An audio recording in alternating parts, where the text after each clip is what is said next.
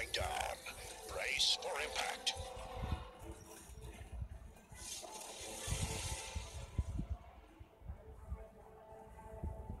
I am Optimus Prime, leader of the Autobots. We find ourselves stranded in a world of danger.